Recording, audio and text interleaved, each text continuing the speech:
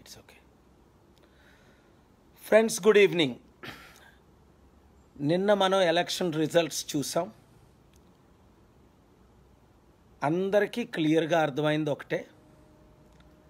Election కమిషన్కి వెళ్ళి ఇరవై ఒక మంది ఇరవై ఒక్క పార్టీలు ఇరవై ఒక లీడర్స్ కంప్లైంట్ చేసి ముందు వీవీప్యాట్లు కౌంట్ చేయండి. కనీసం ఒక ఐదు ఏమైనా ప్రూఫ్ దొరికితే అన్నీ కౌంట్ చేయండి అన్నారు. ఎంత క్లియర్గా? నేను ఎలక్షన్ రిజల్ట్స్ ముందు రోజు చెప్పాను. ఏప్రిల్ పద్దెనిమిదిని చెప్పాను. పదహారుని చెప్పాను. అనేక సార్లు ఏప్రిల్ ఎలక్షన్ ముందు నుండి చెప్తున్నాను. ఈ ఎలక్షన్ కంప్లీట్లీ రిగ్డ్ అని ఫాల్స్ అని ఫ్యాబ్రికేటెడ్ అని మెనిపులేటెడ్ అని లేకపోతే ఇలాంటి రిజల్ట్స్ ఎప్పుడు వచ్చి ఉండవు. క్వశ్చనే లేదు. నూట పంతొమ్మిది మంది ఎమ్మెల్యేలు ఒకే ఒక ఎమ్మెల్యే తెలంగాణలో గెలిచారు నాలుగైదు పర్సెంట్తో బీజేపీ తరపుని. అలాంటిది పదిహేడు ఎంపీల్లో ఒకటి ఎంఐఎంకు పోగా పదహారులో నాలుగు బీజేపీ ఎంపీలు ఎలా గెలిచారు? ఇరవై పర్సెంట్ శాతం ఓటు ఎలాగొచ్చింది సడన్గా డిసెంబర్ పదకొండుకిని ఏప్రిల్కిని? పదకొండుకి. అంటే మూడు నాలుగు నెలల్లో. నాలుగు శాతం ఉన్నోళ్ళు ఇరవై శాతం ఎలా గెలిపారు అర్థం చేసుకోండి. ఈవీఎం మెషిన్లు ఇరవై లక్షలు తయారవడం లక్ష వేలు మిస్ అవ్వడం ముందే ఎలక్షన్స్ ఎనీ కాస్ట్ వాళ్ళే గెలుస్తారు రిగ్గింగ్ అవుతుంది అని వార్నింగ్ ఇచ్చా. కామన్ సెన్స్ ఉన్న వాళ్ళు ఎవరైనా ఆలోచించవచ్చు అనేక వేల మంది నరసాపూర్లో ఓట్లేస్తే పాస్టర్స్ వాలంటీర్స్ అనేక వేల మంది ఓట్లేసిన ప్రతి ఒక్కరికి నా హృదయపూర్వక వందనాలు. ఓట్లేస్తే మా సొంత పాస్టర్సు వాలంటీర్సు వర్కర్సు కిలారి అని నా పేరుతో ఉన్న కాపులు ఓట్లు రెండు వేలు పడ్డాయి. అలాంటి విలేజ్లు అనేకమైనవి మొత్తం పదకొండున్నర లక్షల్లో మూడు వేల ఓట్లు పడ్డమేటి మీడియా మిత్రులకి మెంటలా బుర్రా బుద్ధి లేదా? అందులో కొంతమందికి ఒక్కడికైనా తెలివితేటలు ఉండొద్దా? అమ్ముడు పోయారా? భయమా? ఎవరైనా కంగ్రాచులేషన్స్ చెప్తూ కొంతమంది భయంతో బతుకుతున్నారు. అలాడు బ్రతికే కంటే చవడం బెటరు. సత్యం మాట్లాడలేని నేను రాజకీయ నాయకులు కానీ నాయకులు కానీ వాళ్ళ నాయకులే కారు.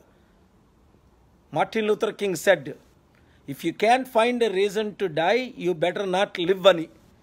అంటే ఒక మంచి కారణం కొరకు చావే బెటరు. జీవించే కంటే అని. నూట యాభై ఒక్క సీట్ల ఆంధ్రాలో ఏంటిది? ఒక్కొక్క దానికి వారం రోజులు ఎందుకు గ్యాప్ ఇచ్చారు? ఒక్కొక్క ఎలక్షన్కి ఏప్రిల్ పదకొండు మళ్ళీ ఏప్రిల్ పద్దెనిమిది. ఏడు విడతలుగా రెండు నెలల్లో ఎక్కడైనా ఎలక్షన్ జరిగితే ప్రపంచంలో అమెరికాలో ఎలక్షన్ జరిగిన కెనడాలో ఎలక్షన్ జరిగిన చదువున్న ఏ దేశాల్లో ఎలక్షన్ జరిగినా వన్ టూ డేస్లో కౌంట్. నవంబర్ ఆరున ఎలక్షన్ జరుగుతుంది అమెరికాలో.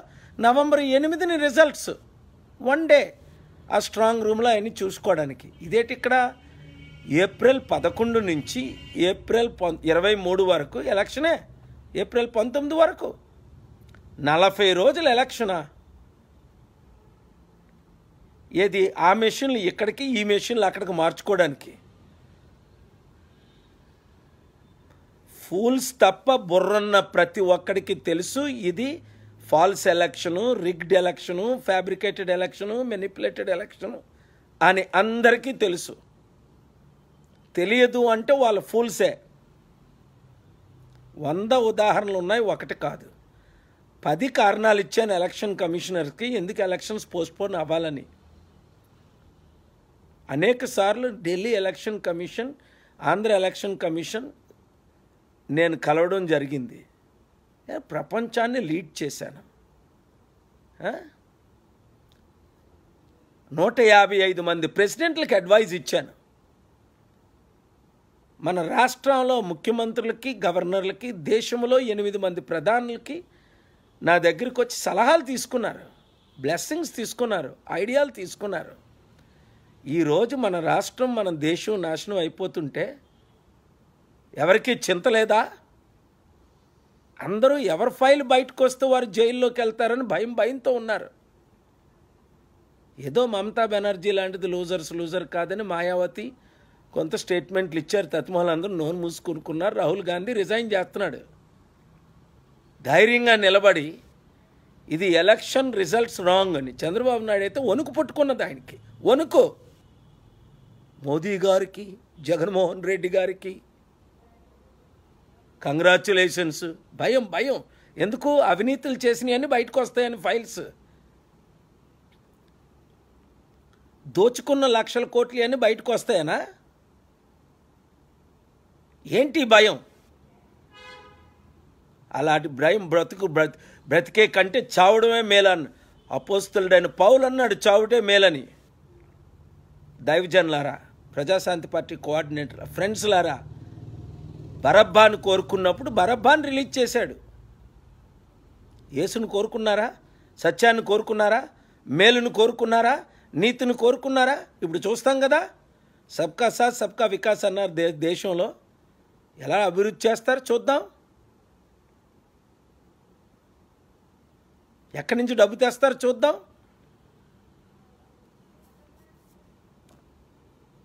ఆ జగన్మోహన్ రెడ్డి విజయసాయి రెడ్డి ట్వీట్ చేస్తాడు.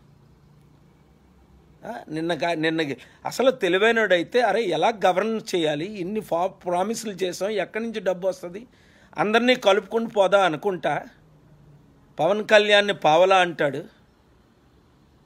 ఇంకొకరిని ఇంకోడు అంటాడు. అది లీడర్షిప్ క్వాలిఫికేషన్స్ ఆయనకున్నాయి? కేఏ పాల్ ప్రజల తరపున ఉంటాను బీదల తరపున ఉంటాను నీతి తరపున ఉంటాను నిజాయితీ తరపున ఉంటాను. పుట్టిన తర్వాత ఈరోజు ఆవిడకి జడవలేదు. జార్జ్ బుష్ హిలరీ క్లింటన్ ఒకసారి ఇంగ్లీష్ వచ్చిన వాళ్ళందరూ గూగుల్కి వెళ్ళి నార్వే న్యూస్ డాట్ కామ్ చదవండి. యూట్యూబ్లోకి వెళ్ళి నార్వే న్యూస్ డాట్ కామ్ గూగుల్కి వెళ్ళి నార్వే న్యూస్ డాట్ కామ్ వీడియోలన్నీ వాచ్ చేయండి. ప్రపంచాన్ని శాసించా కళ్ళున్నవాడు చూడండి.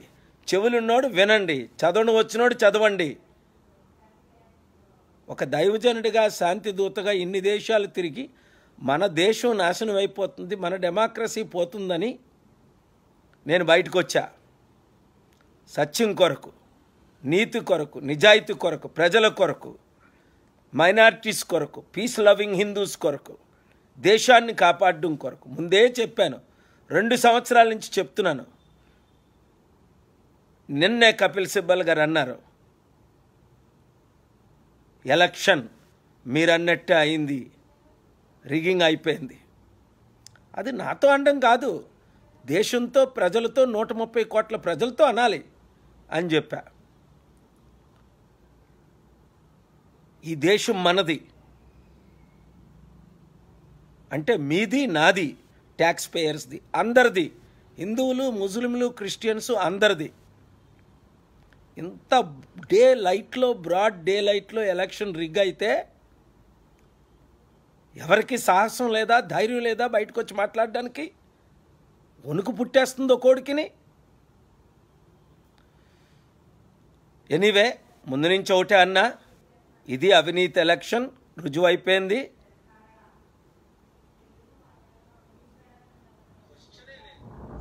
ఆలోచించండి. డీప్గా స్టడీ చేయండి. కొన్ని వీడియోలు వాచ్ చేయండి. దేవునికి ప్రేయర్ చేయండి చెప్తాడు.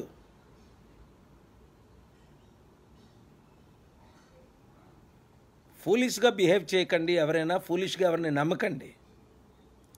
Use God given brain use God given talents and common sense use your common sense also God bless you all. Thank you.